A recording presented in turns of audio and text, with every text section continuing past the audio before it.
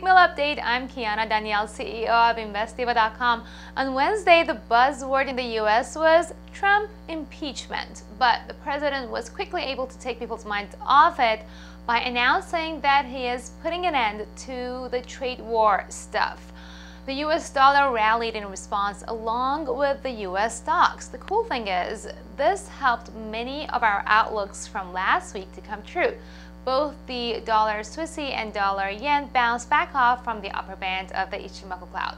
We have more risk events on the calendar today, including Bank of Japan Governor Kuroda's speech, the US GDP, the ECB President Mario Draghi's speech, and the BOE Governor Carney's speech. So many speeches.